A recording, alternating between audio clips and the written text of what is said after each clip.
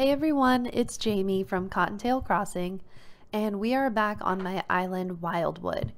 This is my new island that I recently started um, where I'm going for a forest core theme. And you might recognize a little bit of this entrance because in my last video, I had designed an entrance, but you know, it just wasn't quite exactly what I wanted, I guess. I actually really loved it. I th thought it was really pretty, but I wanted it to feel a little bit more like you were walking into a thick forest and I decided that I wasn't wanting a lot of terraforming there. So I took down the terraforming and I'm just going to kind of do some remodeling. So enjoy the music and the rain and I hope you get a little inspiration.